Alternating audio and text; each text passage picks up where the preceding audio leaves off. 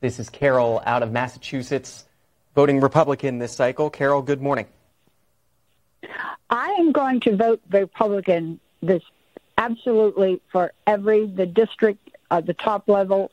Uh, after what the Democrats have done to this country in the last uh, year or so, I do not understand how people can continue to vote Democratic. I've noticed the ads in Massachusetts from the the Democratic side, and they're absolutely full of untruths. They do not give a good explanation